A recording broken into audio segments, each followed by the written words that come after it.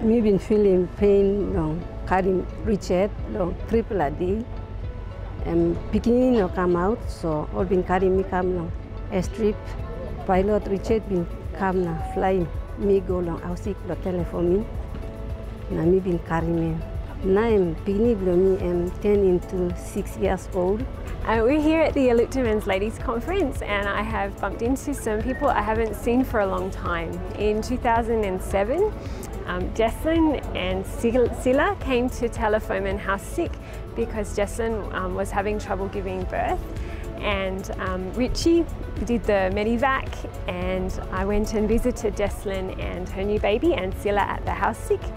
Um, and this is Richard and he's in prep at elementary school.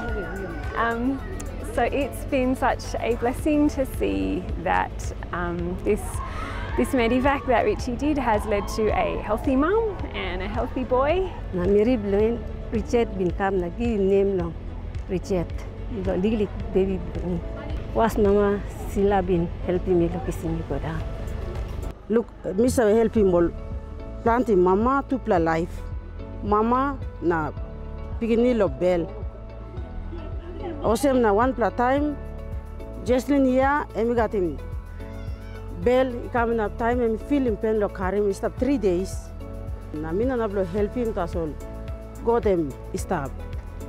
Na mi pla go ausik unbrain kam na kisi mi pla go la ausik.